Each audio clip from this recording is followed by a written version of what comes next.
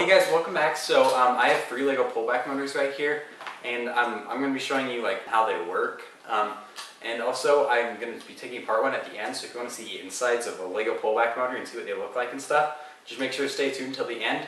And one more thing, I also have a join button down below my channel, so it's by the subscribe button.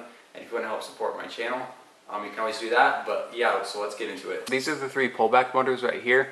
Um, it goes from oldest to newest. Um, this one right here, I, it came on one of my newer sets, so um, it, it, should be the pretty, a pretty new one, unless Lego made another one.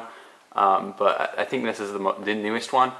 Um, and there's also this one, which is pretty similar to the newest one, but it's uh, made out of bricks, and it well, it's got studs on it instead of Technic bricks. Um, and then this one's pretty uh, small. It's just a, it's just meant to have like normal Lego tires on it. If you can kind of see that there, um, it's only got spots for tires, which is different than these ones that use axles. Um, but yeah, these are what these three motors look like. So let me show you them like closer up. Okay, so this is the smallest motor right here. Um, it's just the one with the two wheels like I pointed out a second ago. Um, so it's in dark, the old dark gray. With the other motors, you can kind of see how it's a different color. This is the newest color, this gray. Well, it's like dark bluish gray is this one, and then this one's just dark gray. Um, but with, um, you can kind of see that one's got a screw right there, and I think a little pin right there to open up. Uh, but the weird thing about this one, since it's these pieces, it would normally slide, but you might be able to tell that it's got two little, right there on it, well right there on it, there's these two little sides that um, just poke out of it. And those latch into two little notches on these so that these won't slide when it pulls back. Um, they only work on newer tires though. Um, because the older ones are just a circle and they don't have those little lips or whatever they are. I don't really know what they are, but those little pokey out parts. Um, so they only work on newer tires. But there's another problem. For some reason, if I put these on, you have to line them up good to put them on though. Um, let's, oh crap, this is, they're hard to put on, I guess. Okay, there we go. I got that one on. And then if I put another one on, like that, um, they still spin separately from each other, which is be which isn't because of the white parts right here. Well, it's not because of the like the tire slipping in there.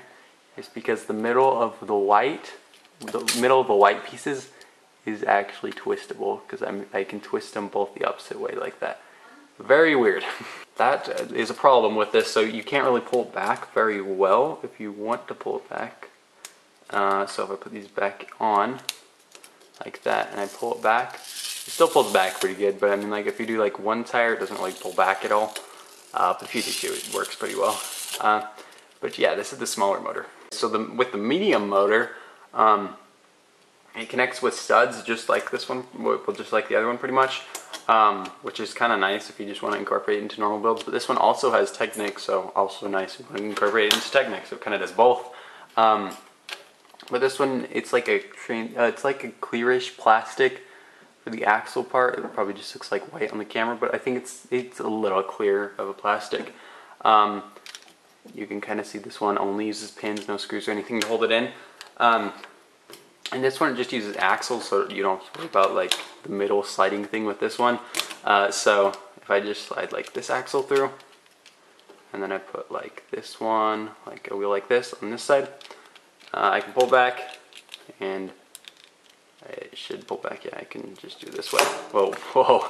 Um, if I do it like this, you can kind of see um, with this motor, it doesn't last very long because at the very start, it does like a ton of power and then it's like dies out pretty fast.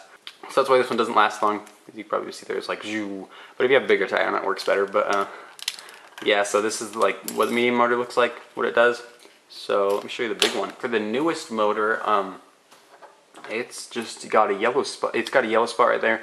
It's made out of like Technic, so it's pretty hard to like incorporate into like regular um, like brick built uh, Lego things, like Lego builds. Uh, this one, you, it takes apart. You can take it apart with screws. There's just four screws right there, so this one doesn't use tabs, which makes it a lot easier to open up. Um, But this one, you can kind of see the pullback part right kind of here is bigger than the other ones. So you can kind of see it's slightly bigger than this one, I'm pretty sure. And then it's both of the both of these newer ones are definitely bigger than the small one. Um, but this one, it tends to last longer than this one, but not give as much power at the beginning as it. But um, yeah, so if we put a wheel in the middle, if we put a wheel down, a wheel down it, and then twist it up. So let's do that real quick. So I roll this back, this one takes a lot more to roll up too, like a lot longer than the other ones. So if I rolled up to there, you can kind of see it last a while. Um, well, it's not too long because the wheel's so small, but it still lasted a, a, little while. But this one, if you have it on a car, it'll go further than uh, this one if you have it on a car. So I'm gonna open up the smallest motor. If you wanna see like the bigger, one of the bigger motors get like opened, once the insides of them, make sure to like let me know in the comments so that I might make like another video on those, possibly. Um, but yeah, so let's, let's open this up. So I have a super small screwdriver. You can kind of see how small it is. And I just stick it back. There's one screw and maybe a clip on this. I'm not entirely sure. So hopefully I can get that open. I've never opened this, so I have no clue what's going to happen. Hopefully I don't break it. Because that would be bad. Okay. Screws out. And then I have no clue how to open this. So I, I, cannot figure out how to open this. It's got a tab or something right there, but I don't know how to like open it or anything. So I'm just gonna open up this one right here, the newest one. So if you come to the comments to open up one of these, I guess you're just getting it right now. Uh, but if you know how to open this one, make sure to comment that because I have no clue how to open that. Um, but yeah, so let's open the big one, I guess now. So there's four screws that I need to do. And those are really tight screws. Let's, okay, well I guess they're not too tight. It's pretty tight to do. Okay.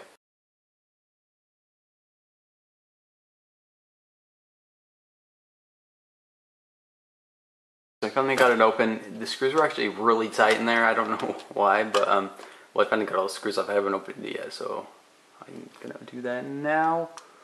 Okay, sliding my fingernail around. Okay, let's pop it off and see what happens. Whoa, what the?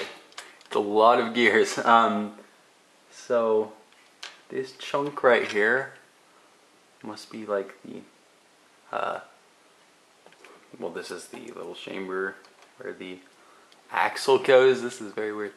Um, the actual motor is back here somewhere. I think all these gears are like greased or something because my fingers feel like slippery. I don't know, but um, I don't. Oh, okay I can't think of what the crap. It's like a metal coil. I guess that's how it pulls back. But if you look at that, that is very weird. That is what the inside of a pullback motor looks like. So if you're wondering, there you go. Okay, so it's it for the video. Um, the motor, um, I put it back together. It works and everything now. Well, it works and everything again, but um, uh, uh, I didn't want it to break, so it still works and everything back together. Um, there, there was like some sort of like grease or something in there to make the gears run better because I saw like white like stuff around the gears. Really weird, but um, washed it off and now my hands are fine now. But um, yeah, as always, make sure to like, subscribe, and hit the notifications bell.